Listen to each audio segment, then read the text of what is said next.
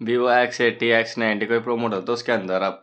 Touch and hold daily को आप किस तरीके से सेट कर सकते हो? यानी कि आप यहाँ पर देख सकते हो हमारे ये आइकन है।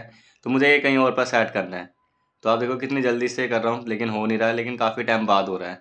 इस तरीके से आप देखते हो, इसमें टाइम लगा हुआ है।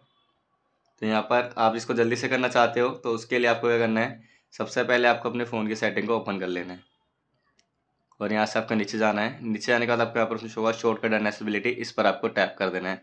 सबसे नीचे आके आपको एसेबिलिटी पे टैप करना है। जैसे इस पर टैप करोगे, नीचे जाओगे ऑप्शन शो होगा टाइमिंग कंट्रोल्स इस पर आपको टैप करना है। टच एंड होल्ड डेली पे आपको टैप करके शॉर्ट पे टैप कर देना है।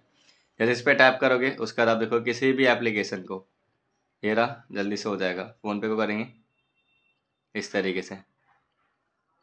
तो वीडियो से तो वीडियो को लाइक शेयर सब्सक्राइब करें। मिलते हैं नेक्स्ट वीडियो में, जब तक के लिए बाय